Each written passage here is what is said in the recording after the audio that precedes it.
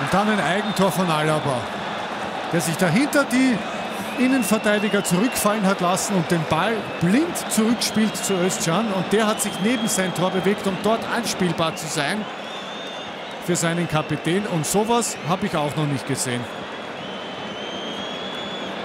Vom Superstar der Österreicher.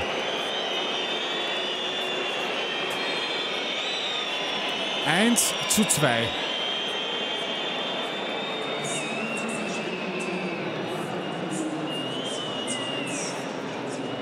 Skurril.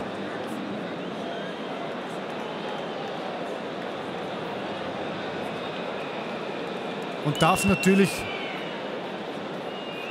überhaupt nicht passieren und erst recht nicht gegen Malta.